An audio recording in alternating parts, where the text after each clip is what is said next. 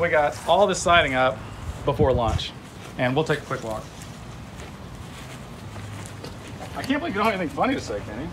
I know, it's weird. It is weird. You're such a funny guy, and people look at you. Oh, and here's like, that board that was 62. 62 and a quarter. Uh, oh, here, hold on. It's supposed to be 62 and a quarter. What? Oh, that's the quarter. There's 62 and a quarter. That's funny. Kenny thinks he's funny. Hmm. Take That it was back. very dumb. Yeah, well, we're pretty dumb. So there. Can we continue on with uh, Yeah, let's look this at property? Yeah. This is a, a professional video. Mm, yeah, yeah. So we did all this siding. We got everything caulked, and here in a minute we're about to spray the paint. This is about to be painted what color? So even the black is going to be what color? The black is going to be black, and the white is going to be white. It's going to be those colors. Oh, we're keeping the black black. I thought you said that these were going to Oh, be thi- white. this this part will be white, but then around the trim and the doors and the windows and stuff that'll be black. Oh, okay. Perfect. So anyway, that's that's what we got. What is this going to be used for? We're going to use this. Uh, this, okay, so a lot of people don't realize this, but with it being 2020, you have to be prepared. Uh, and so, in case there's another pandemic, something that we could not possibly foresee, werewolf hornets, or I don't know, like dolphin sharks. Well, I heard that the new corona is causing uh, people to start foaming at the mouth and eat people. Correct. So, if you have a zombie apocalypse, That's the strongest coronavirus out there right now. This It's- is past the Kenny test. You and have to eat human beings in order to survive. Yeah. Why don't you cannibals get eat it. clowns? Because they taste funny. Anyway, that's all I got. Yeah. Oh, hi. How you doing? I'm good. So today we uh, we worked on this beautiful little uh, recreational facility, and uh, Kenny and I and John we we uh, really kind of we did a lot. We did the the siding, we did all the the uh, what do you call it up there? I don't know. Trim. Oh my gosh, the trim up there. See, I, I'm not really in construction, but Turns I'm out you are. I'm just beginning to. Yeah. All right, so check realize. this out. I'm gonna put it in layman terms for Yeah. y'all. So Yeah. today, John decided to get out his uh, pinstripe uh, spray tip for Yep. his uh, for his spray It's rig. like it sprays this wide. Yeah, it We- sprays- it's a it- lot of different layers. it sprays it sprays in pinstripes, and also he has the ability to like slow down time um, and move at an unrealistic pace. Have you ever played Prince, Prince of Persia? You like hit the L button. So like whenever he's painting with the pinstripe spray attachment, um, it looks like like someone's fast forwarding a VHS tape. Does it have the wavy lines? Yeah, it's got the wavy lines interlace, or is that interlace or is Yeah, that? Yeah. Okay. Um, anyways, I don't talk about video stuff anymore because now I'm just a carpenter. All right, so let's talk to the real man. Okay. Oh, that's me. All right. So what we did here, let me tell you what we did. Yeah. Uh, we put up all the siding. We put up all the trim. We caulked everything. We framed the inside up in that ceiling, and then we painted it. That's pretty much what we did. Not really that much. Just kidding. It was a lot of work. But uh, Kenny's amazing. Dave Canooey's amazing. Our homeowner over here is amazing. I threw my back out today. This is not a drill. I just had to say that because I think it's funny. Daryl laughed too when I said it. Um, okay, so today we uh, had our electrician run some wiring in here. So we wired in all these can lights, which is nice, and we wired in a couple fans up there, which is nice, and then all these outlets, and then we've insulated, and then we're about to start sheetrocking. So that's pretty exciting. Daryl, I was just talking to Daryl, and he said that he would like to hear about. I had why do bad things happen to good people, and he said he wants to hear why good things happen to bad people. So I'm gonna do both. Number eight, uh, why do you bad things happen to good people? First of all, we have to set the record straight. Ain't none of us are good people, okay? So when we're all like, why did this happen to me? I'm innocent. You're innocent compared to other people, maybe. Like if you compare yourself to Hitler or some bad person, you're like, look at that, I'm great. I'm not like a heroin addict. I'm not a murderer or a child molester. That's nice. But ain't none of us is good people. And I realize that everybody's gonna argue with me about this, but it's true. Uh, the Bible says that God makes the rain to fall down on the good and the evil, and that we're all kind of stuck in the same thing together. And so there's a parable about um, an enemy comes to his enemy's property and he sows bad seeds in the middle of the night. And so there's this good crop, and then he sows bad seeds in the middle of it. They're called tares, um, kind of weeds or whatever, in the middle of his crop of wheat. And then the work when the when it starts to grow, then the workers come to the owner of the land. They say, "Hey, um, there's a bunch of weeds, a bunch of tares in the middle of all this wheat. Should we try to pull them all out?" And he's like, "No, because they're all tangled together. And so if you try to tear out the bad ones with the good ones, you'll ruin the good ones too. And so we're going to let them all grow up together, right next to each other. The good and the evil right next to each other, just mingle together. And when the time comes, when the harvest comes, then we'll be able to separate them like the chaff from the wheat. And it'll be just that easy.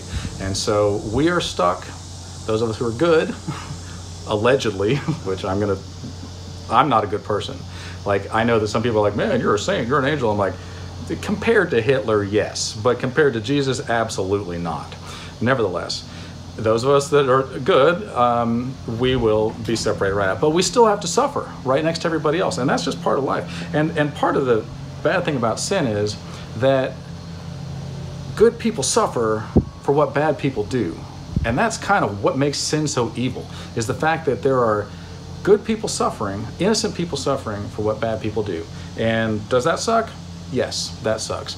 But also, a lot of the things that we blame God for, we're like, how could you let this and this and this and this happen? I'm sure He looks right back at us and goes, yeah. How do you let all that stuff happen? Because most of the stuff that we complain about is direct consequences from things we were told not to do and we did it anyway. Anyway, I'm not trying to be a Debbie Downer. So we are going to get some stuff done today. Uh, David Kanui's back hurt this morning, and so I hope his back gets better. I know there are those of you that are sick right now, and uh, I hope that you guys get better too. So I hope you have a wonderful day. Love you guys. Oh, hey there. So um, we got some stuff done today.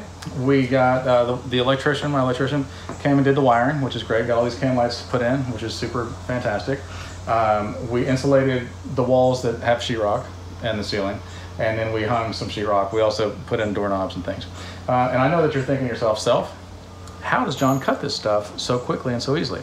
Well, a long time ago, somebody told me your tape measure doesn't lie. So if you just measure it and then mark it where you measured it, you're good to go. Now that brings up an important point. Like maybe you're doing something and your tape measure is wrong. I saw something recently and this tape measure was like different sizes. Well, that would be very bad. Or what about in your real life, let's say that your moral compass is not pointing north and you think you're doing the right thing, but you're not doing the right thing. Like, how do you gauge that? How do you recalibrate that? Um, for example, Daryl told me today that his uh, he thought he was a certain weight, which was very light, and uh, he kept thinking that he was this same weight for many years. Is that right, Daryl? Yes. And then he went to the doctor, and they told him that his weight was much more than what he thought it was. And he was shocked by this. And he goes, No, I swear my, my scale is at this weight. And he went back home, and it turns out that his scale maxed out at a certain weight. And he had long, long passed whatever weight that was. And so now he's trying to eat right and exercise or whatever. Anyway, the point is that he realized that his metric for measuring things was incorrect and now he's taking measures to fix that. And i think that's wonderful. And i think that we need to uh, be teachable because here's the thing. If you're offended by everything and everybody right now is offended by everything then guess what? You can be easily manipulated. There's a clue. If you're offended by anything the media or anybody can easily manipulate you. And you're like they made me mad. Bull crap. You made you mad somebody can have the do the exact same thing to two different people and have two different reactions. They didn't make you do anything. You reacted. You got triggered by something and you allowed this to manipulate you. So don't. Because then look watch. Hey john you're an idiot. I'm like that's nice. Have a good day. Anyway that's it. Hmm. uh, hey there. Uh, so welcome to our day. We've done some sheetrock here this morning and some insulation and that's nice. Um, I've got a big surprise for everybody. Are you ready for this? I'm having a baby. In China, make my next pair of shoes. Anyway, so um, you can see these circles uh, where the recess lights are. Those can be a challenge, and it occurred to me that maybe you guys don't know how to measure for that. So there's this drill bit right here. See it? And that just drills and, and cuts the hole, and all you gotta do is find the center. The problem is this drill bit is just a little bit too small, so I have to modify it every time. So rather than use that, because they got me, then what I did is I measured how far it is to the center of this, and then how far it is to the center of this, and I put those measurements up here. And so if we do this, and we go 40 and 3 quarters, this is important, and then we go 41 and 3 eighths this way. What's that, 40? 41 3 eighths, right here. Then that's our center, okay? So, how do you make a circle? Good question. We know that that's a six and a half inch diameter, and so the radius is three and a quarter inches. So if we come to the center of this, yep, you got it. Then we go three and a quarter and six and a half, and then we're gonna come this way. Sorry, I'm trying to let you see it. Uh, three and a quarter, six and a half, and then same thing here, three and a quarter, six and a half. Boom, boom. And then that's your circle, right? So then you just connect the dots. I'm sure you guys have done that. And that's a perfect circle. There's a band about that. And then you get your sheetrock saw right here.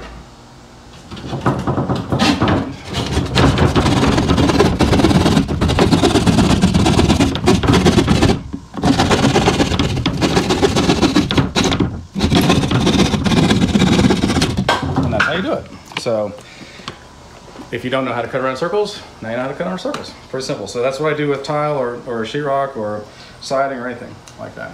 And anything else you want to talk about canoeing? Uh, no, I think we're good. Yeah. Uh, we're about to go eat lunch. True story. True story. Wait, there's something. Oh, that can wait till later. We are going to go eat lunch. I'm starving. I think my belly button's gnawing away at my spine right now. And clearly I'm sweating a lot. Show 'em how dry your shirt is. Way, your hand's right in the way. Way dry. Now look at how wet my shirt is. Disgustingly wet. Just nasty. Anyway, love you guys. So, uh, last week I showed you guys how to tape and bed. We got the sheetrock up. That's really amazing. Um, and I showed you kind of the, the slow, let's patch something kind of way to tape and bed. But now I'm going to show you how to tape and bed with a banjo. And some people call it a banjo. There's two different brands. There's a banjo and a bazooka. But basically, what happens is you've got, um, and my friend Nicole uh, Maxwell from California was like, "Ha ha, you're gonna do this with a banjo. You're funny." But basically, it's not an instrument. So your roll of tape goes here, and then it latches on if you can make your fingers work. And then the tape comes through here, and then you take mud that you mix up with water and fill this in. Okay. I think you can see where this is going. That um, it, the tape comes out and it coats, coats it with mud, and then it saves you a process. So we're gonna try this real quick and see if it works. This is our first try. Since our last try. But basically, then you get this, and uh, let's try something low first. So it's got this handle, and then you get your tape and pull on it, and then just put it in place. Oops. Try not to do what I just did there.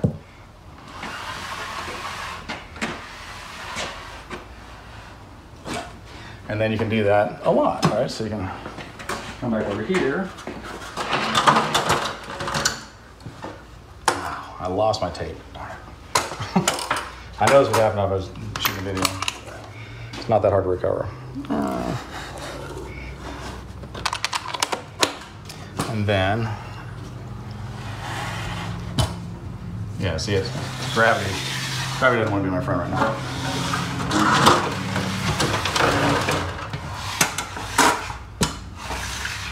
And that's got a thing at the end, you just cut it off, right? So, pretty fantastical. And we'll do. And so um, after you do that, what do you do? yeah, let me show you. Okay, so then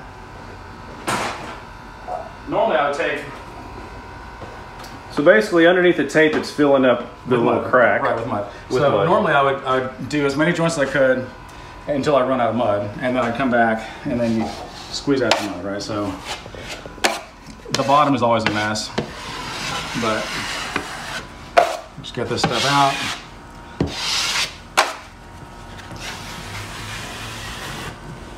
So if you're doing a bigger thing than just a couple couple tape joints or whatever, then this really does help. Let me scoop this through.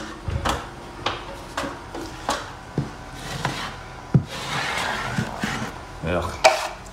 I look like I'm retarded right now. I don't mean retarded, I mean whatever. non- No, you, you do mean retarded. no, I, I mean like what's a non-PC, non-offensive way to say that I'm not very smart? To speak about John, retarded. That's fair. I deserve that. Um, anyway, so that's that, and then I'll show you another one over here. So this one, this was uh, we had a, a batch that's pretty wet, so it's probably gonna be pretty wet.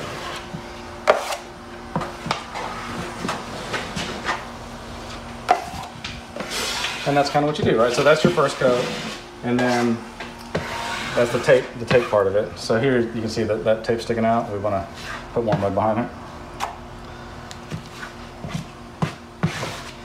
now it's not sticking out. So now you don't have some stupid looking bubble. And that's, that's that. And then uh, you come across with a bigger knife and then do a big wide um, thing right here. So normally if you've got an eight foot ceiling, it's just one seam right here. But because this is more, this is like an eight foot seven or whatever, then we've got to have this piece in the middle. Uh, but that's how you use a banjo. So it's not an instrument, it is a tool. Love you guys. Uh, so we use the banjo to do the tape and bedding, and we got all of this tape and bedded one coat. We use the outside corners. I think I showed you how those work. You basically have this stuff, and you put um, mud down, and then put this in place, and then press down on it. And then that's what we use around the windows, and then around this whole, yeah, you see it. And then around this um, this whole inset thing over here. So remember, we, we framed all this up the other day. That's where the fans are going to be, and then that's where all the recess lights are going to be, and it looks really nice. So that is tremendous. Um, what would I like to talk to you guys about right now? What do you think, David? Baby elephants? Perfect. Okay, we're going to talk about baby elephants. So, that, is that what you were saying? I felt like it, that somebody was sending me a message telepathically, talk about baby elephants. So I will. Uh, when baby elephants are in a circus, then uh, they want to break their will. So the elephants want to get away. Naturally, they want to be free. They're free creatures like all of us are. And so what they do is they drive a stake deep into the ground, wherever these baby elephants go, and they put a huge chain around their back leg. And these baby elephants want to be free. And so they pull and they tug and they pull and they tug and they pull and they tug and they really hurt themselves, right? They end up with a big scar around their back, back uh, leg, back foot. And eventually, they realize as much as I pull and as much as I tug, as much as I try to fight, I cannot escape this. I will never get away from this thing. And they stop trying because their will is broken. And they do this when they're small because if they try to do it when they're big, they can get away. And so they break their will when they're small. And then for the rest of their life, they have a tiny nylon yellow rope that goes around in a stake that's maybe in the ground a foot.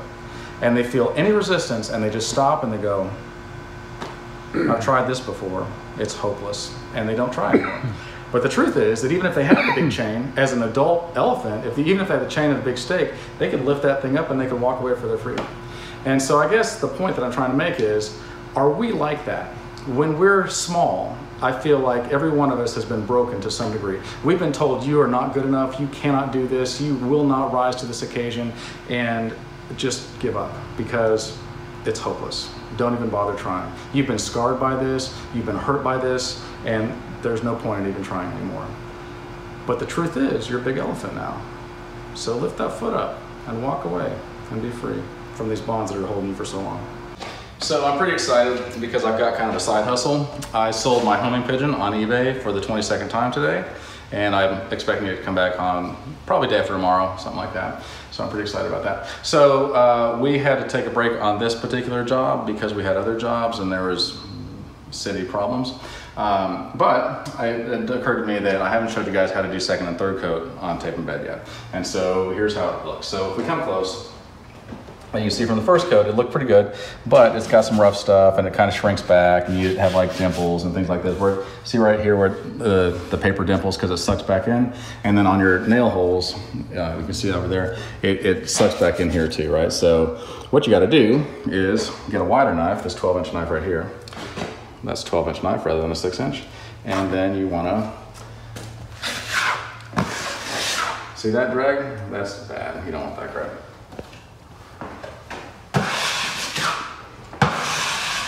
Then you want to float this out, right? So what the concept is that you're you're building it out and then back in, kind of, but it's very subtle. And so as you do that, you want it to be smooth and finished looking.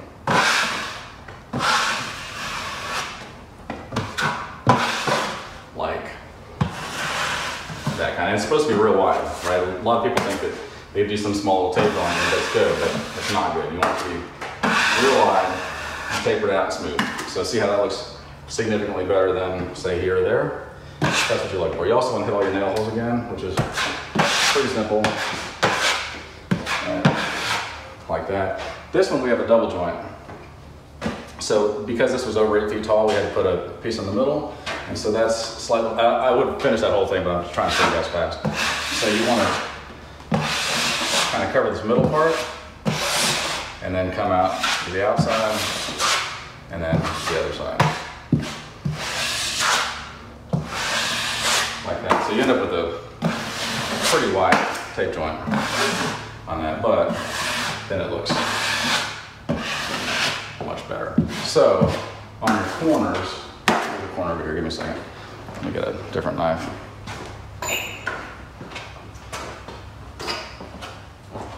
Six inch knife, 12 inch knife. So on the corners, use a six inch knife. And um, you want to do one side of the corner. And see how it's got tape on it right now? We want to bed that tape, right? And then once that dries, we'll come and do the other side of that.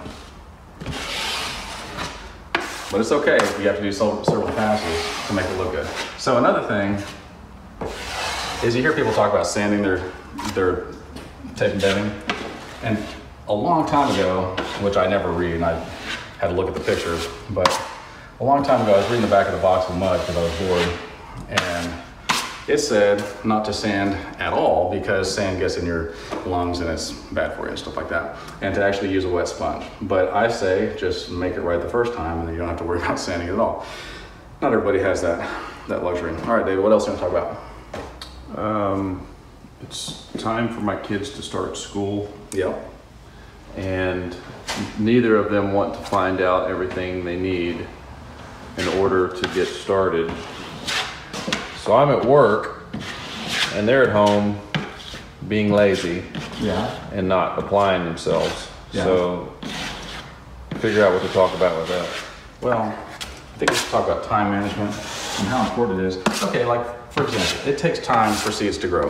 Everybody thinks they're gonna wait till the last second and now I'm gonna do this. And you're like, it takes a while to get good at something. If you think you're gonna come in at the last second and be like, oh, here I am, I just showed up and look how awesome I am, you're wrong.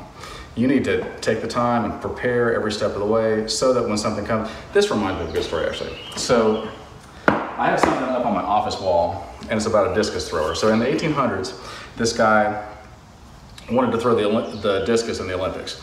And he wanted to be able to not just throw it, but to beat the world record. So he got went to the library and found the dimensions of this discus, and he made one exactly to spec. And he's like, I got this, and he measured off in his field how far it was uh, to beat the world record. And he threw this discus all the time until finally he could beat that record every single time. And he was just like, I can beat the world record, no problem. I've got the discus, it's regulation, I'm ready to go. He goes and tries out for the Olympics, and they hand him the discus, and he's like, What's this little thing? And they're like, Oh, that's a discus. And he goes, No, no, my discus is solid steel. And they're like, Ours is wood and it's coated in a thin coat of steel. And he's like, Ah. But the thing is, he had trained with something that was so heavy that by the time they gave him the real discus, he's like, I know I can, be, I know I can beat the world record with the heavy discus. Watch this, and he just. Nobody touched his record for decades. Nobody could beat him because everybody practiced with the light thing and he had practiced with the heavy thing. And I think that sometimes in life, we're stuck with stuff that's like, man, this is really hard. This is really difficult. Why do I have to go through all this? But later on in life, something comes along and you're like, "Pfft, this is nothing compared to what I've already dealt with. This pain is nothing like the pain I'm used to. And then you actually dominate. So I think it's very important to be as prepared as you possibly can every step of the way so that when hard, hard times come, you're ready. And it does take time for seeds to grow. All right, love you guys. What's up, John? Oh, hey, man. Uh, so, we're laying the laminate floor this morning. It's pretty exciting. And I've got some news. You want to hear it? Yeah. All right. Uh, it's a little sad. I had to quit my job at the muffler factory. The muffler factory? It was exhausting. Uh, I'm not even gonna turn the camera on that one. you can do that. It's okay. Um, so we're laying on the floor, and uh, it's real easy to get off just a just a smidge on this stuff, right? Like stuff you think, oh, that doesn't matter, like a sixteenth, but then over time, it really makes a big difference. So that got me thinking about how life works, and a lot of times we think what is a sixteenth of an inch here is off over time gets to be very off level. Several feet. Yeah, at, at which point you're like, why is that building sitting like that? And a foundation is very important, and um, you know, being straight level and all that, plumb is very important. But it's also important in our life. And sometimes maybe you notice that um, somebody's not doing things that are going to help them in the long run. And so we have the opportunity to change the trajectory of their life through gentle, kind words, and usually by example, to just lead them just a little bit, like adjust um, and make that, that fine-tuned correction that maybe they don't even notice, that changes the whole trajectory of their life and the whole destination of their life. And I think that's very important. I think it's important to encourage people and to love people and to, um, to make a difference in their life because one little mistake here will mess this whole floor up. And you know, if you're building concrete or something like that, you, oh, we're just a little bit off, and next thing you know, you're like, man, we're five inches out of level or something like that, which can be a real problem later and takes a lot of, well, it just causes a lot of frustration. And so if you have the opportunity to help somebody in their life, by all means, take that opportunity. So we're gonna lay this floor today. It will not take very long. We got started about seven minutes ago, and I was like, we need to make a video because this day is gonna be over before it even begins. We'll be done in 21 minutes. It really, yeah, I think 20 minutes flat, maybe seven extra seconds because we're talking, but uh, it's really quick on this stuff. Also, I'm not good with math. All right, so uh, see you guys soon. Hey, John. How are you doing? So I just want to take a moment to brag to you about my humility. I guess I won't do that. Uh, so David asked a good question yesterday. We're, we got the floor done. That's amazing. Uh, now we're trimming this out, right? So he said, how do you know what angle to do around this stuff? And the answer is this. If this is a 90 degree angle, okay, which it is, so this is 90 degrees, then half of that is 45 degrees. And when you put the two pieces together, it's gonna, this is called a miter, this, this angle is called a miter, and I've got a miter saw, I'll show you in a second. So I put these two pieces up, I measure to the short side and to the short side here and then cut them off. But then we want to measure from the long side to the long side up here, right? So that's 37 inches and I'll show you how this works. This, this is a miter saw and it's set to 45 degrees. And we want to, cut this upside down. It'll be square up against it. And I'm cutting 37 inches to the long side of this cut. So there's the long side. There's the long side. So where you marked it is where you're gonna start. Right, so then I put my saw down, make sure I'm on the right place. Because we put two 45s together, and that makes a 90, and you can see it, it works.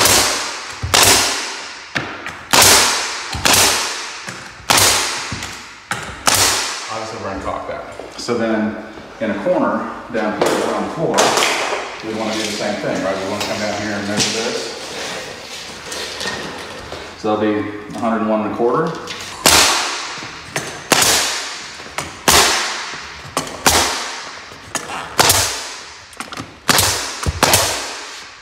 One more cut I'll just show you how it miters together. So that one's gonna be 51 and 7 eighths. So because it's a 90, you do a 45 degree angle.